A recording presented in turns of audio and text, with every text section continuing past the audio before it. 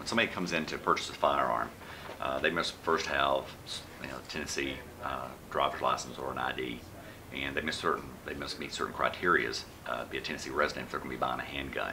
Once we've they've decided to purchase a particular gun, then we come up and we do uh, what we call a 4473 form on them, and we process that through directly through the uh, TBI um, to the internet, and uh, usually they respond back in anywhere between a minute to 15 to 20 minutes at the top. On occasions, we have denials, and the denials uh, can be kind of traumatic for somebody that has no clue as to what would cause them to be denied.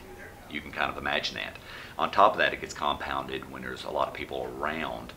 There's an embarrassment factor.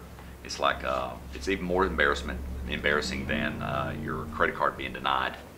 Our denials most of the time are overturned within a couple days. Uh, what we do is we try to pull them aside and let them know that these things do happen and try to turn it as much into a positive for them as we can by letting them know that this, whatever was in their background was there before they walked in the door. And finding this out gives them the opportunity to correct it. And for a $10 fee, you know, they're not going to be able to go out and hire an attorney to, to do a background on them to find out where these discrepancies are. And also, it's caused a lot of people to uh, maybe not get hired or to, to lose employment because these discrepancies were in their, their background.